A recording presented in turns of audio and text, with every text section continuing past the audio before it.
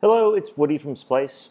Today we're going to take a look in this video blog post at how to uh, uh, how to put some buttons on the street sign. So you can see in my simulator I have a, just a PNG, or actually it's just a JPEG of a blank street sign.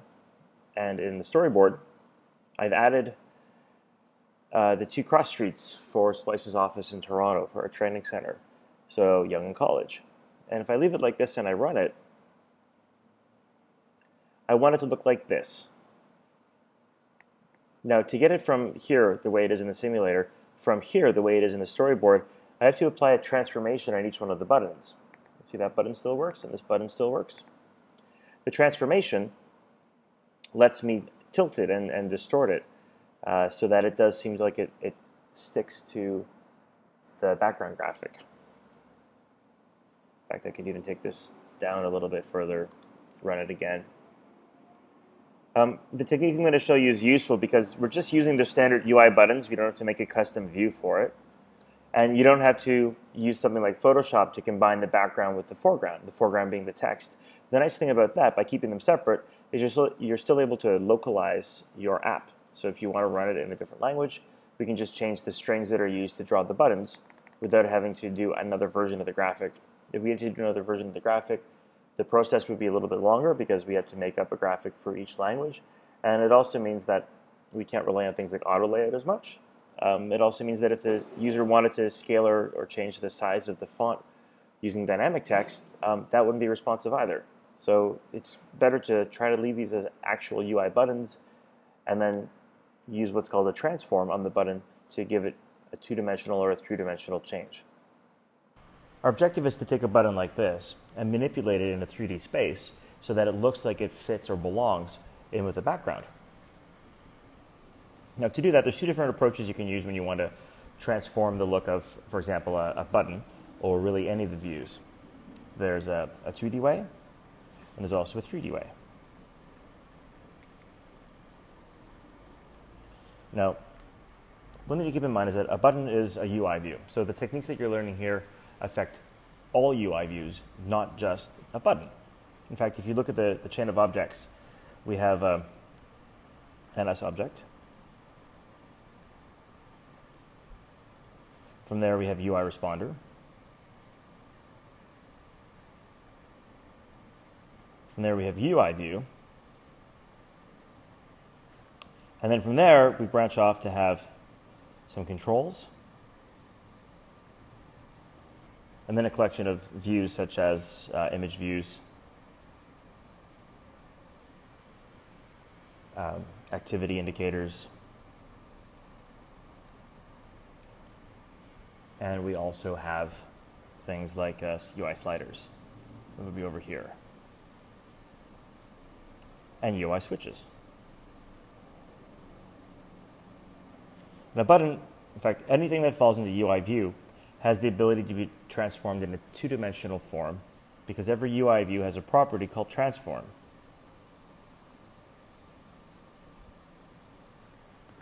I can take this button and I can rotate it. I can take it and I can scale it so it becomes larger. I can reposition it. So it starts here and then it move so that it's down here. It's a Y transform.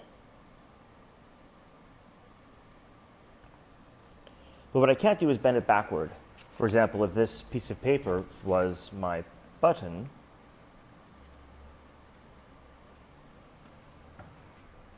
I couldn't take it and bend it backward like that or forward like this.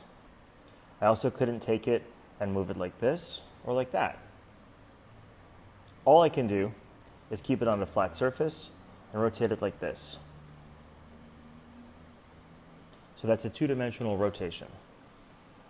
What I'd like to do is a three-dimensional rotation. So the way that we do this is we access another property that's on every UI view. It's a property called layer. And layer gives us access to a three-dimensional transform. So this is Adobe's After Effects. Uh, but again, you could use a program like Apple's Motion or anything that lets you take some text and manipulate it in 3D. And I use this program just to help me pre-visualize what I need to do when I actually get to my source code. So for example, here I have my background graphic. And I've added some text. I just wrote the word button in. And I've opened up the transformation uh, controls and the timeline for After Effects. And again, you don't have to do this. This is just to give you a better idea of what it is that we are manipulating. I turned on a little box so that After Effects knows that I want to process this in three dimensions so that now when I come down to rotation, I have a x, y, and a z rotation. So I'll take the, for example, the x rotation. I'm just going to move it so we can see what it does. All right, so any x rotation is moving on the horizon like that. I'll reset that. The y rotation would be this one. And finally, the z one would be this one.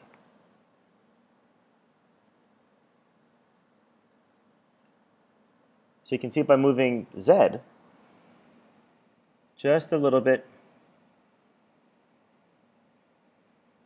like that, that's already starting to look like it's better integrating with that background. Then I might want to take y and manipulate it too, just so that it follows a little bit more with the sign. I'm just doing it by eye until I can see what I think I might want it to look like. Something like that. If I used an X, remember that the X is being added and then the Y and then the Z are being added to it, so it just kind of gives it a free-floating effect. That's not what I'm going for. So I know that I probably want to manipulate X and Z, sorry, uh, I, probably, I probably want to manipulate Y and Z, something along these lines, negative 14, negative 7-ish, over in uh, over an Xcode. Uh, so I probably want to manipulate X and Z, something along these lines, uh, negative 14 and 0 degrees over in Xcode. So let's hop back to Xcode. And I have my source code written out here. So I'll just take you through it. Now, I'm not trying to animate these button changes. I just want to make them take on this perspective when the application or when the view controller uh, loads. So in view did load, uh, and this is the Objective-C version, but I'll show you the Swift version after. I start off by creating um, a CA transform 3D. And there's a collection of routines you can use to make a 3D rotation, to make a 3D translation, a 3D scale, uh, and combinations thereof, like concatenation, to join them together. So the first thing I do is make a, uh, sorry, the first thing I do is use the procedure CA transform 3D make rotation, which takes four arguments. The first argument is the angle in which it's going to rotate. In the core animation framework, as opposed to using degrees like 360 degrees to represent a full circle, radians are used. For myself, I don't really think in radians, I think in degrees. Um, so I have a function up here that's been defined just to convert from degrees to radians by multiplying the value by pi and dividing by 180. So it's just a convenient uh, convenience uh, function that I'm accessing. So I have it backing up 29 degrees, which is then converted to radians. And then you have three values, which are x, y, and z. And because I want this one to be my y transformation, I pass 0 for x and 0 for z, and just 1 for y, which means this is a y manipulation. I'm not trying to convert this to negative 29 degrees on any of the other axi, just y. Then I do the same thing for z.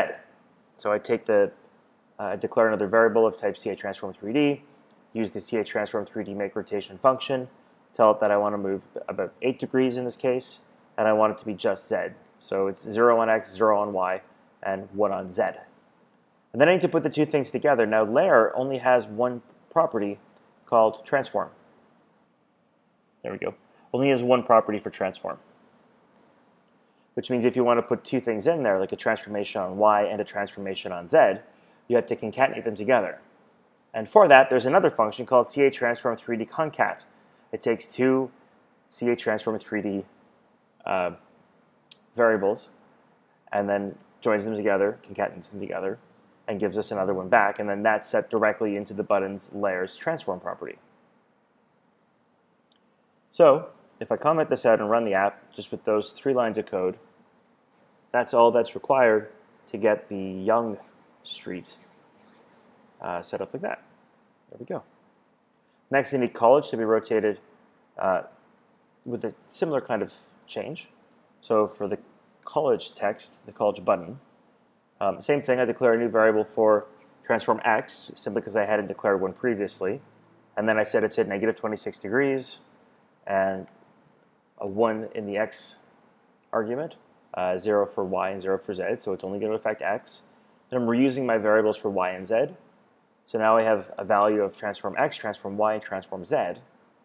I'll take the first two of them, x and y, and put them together into a new one called transform xy. That's because the transform 3D concat only takes two arguments. What I want to do is combine three transform 3Ds. So I put the first two together into a new one, and then I use CA transform 3D concat again, taking the output of the previous line, line 37, and then add Z to it, and then stash that into the buttons layer. And that is how you take any UI view and manipulate it in 3D.